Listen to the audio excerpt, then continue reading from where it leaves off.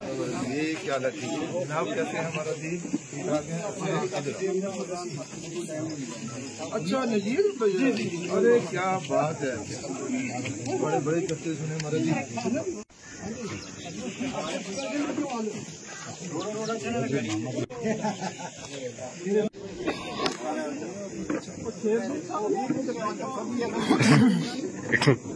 देखेंगे भैया हमारे गाँव की मिट्टी भी।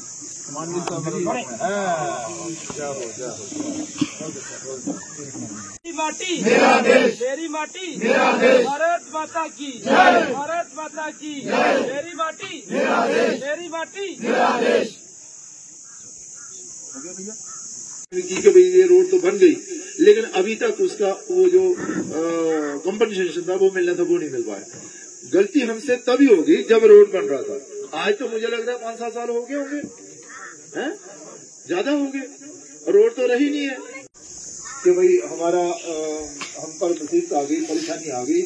लेकिन हमारी वो बहने जो मोहल्ले की हैं या आसपास के हैं पंडित वाले को छोड़कर हमारी मुस्लिम बहनें जो थी वो सहारा देने के लिए आई। उन्होंने नाम ना दी। उन्होंने अगर पूछा कि कोई बात नहीं अगर कोई परेशानी है तो हम उसका समाधान करेंगे हम आपकी मदद करेंगे। ये बड़ी बात है।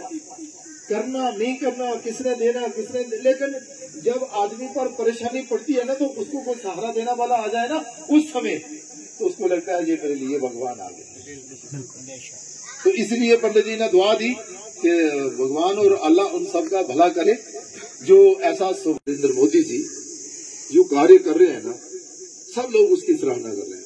मैं कल भी कह रहा था कि बिना जात पात धर्म मज़हब पार्टी पॉलिटिक्स से ऊपर उठकर उन्होंने एक एक योजना जो है वो देश के नागरिकों को समर्पित की।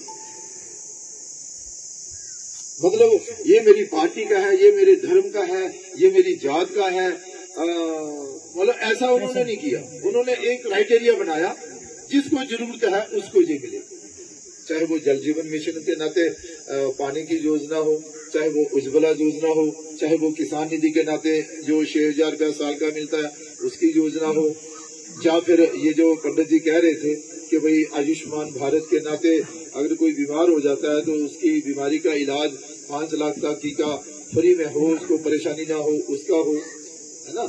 तो ये जो योजना उन्होंने चलाई ना, इससे क्या हुआ?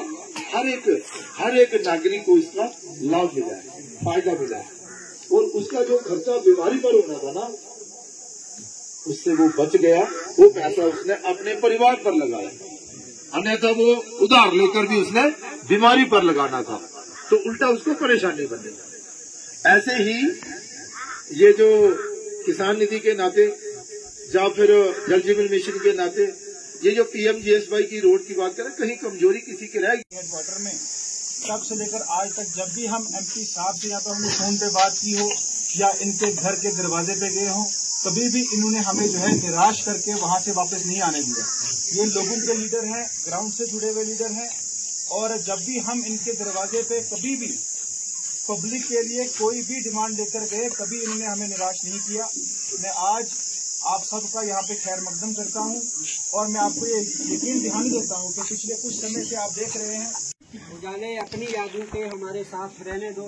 न जाने किस गली में ज़िंदगी की शाम हो जाए।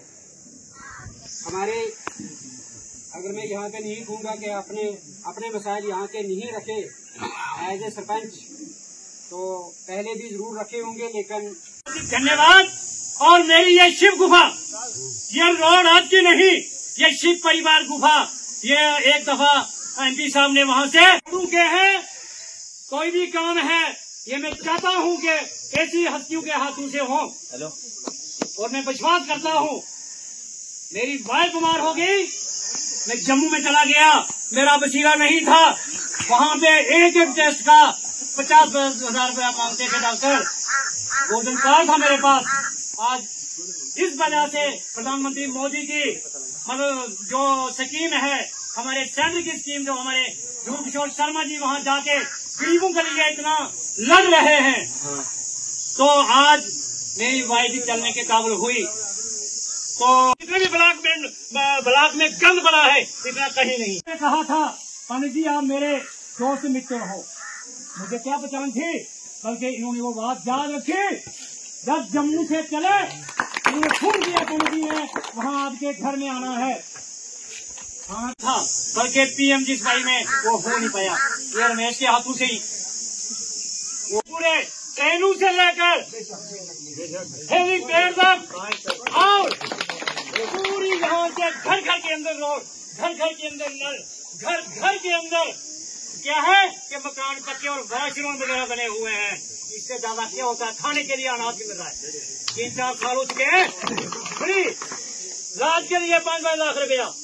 कितना कितना काम हो रहा है तो फिर क्या कहे? इससे और क्या कर सकते हैं? अब इतना एक चम्मच के साथ हमें खाना खिलाए तो या फिर वो पका के खिलाए सा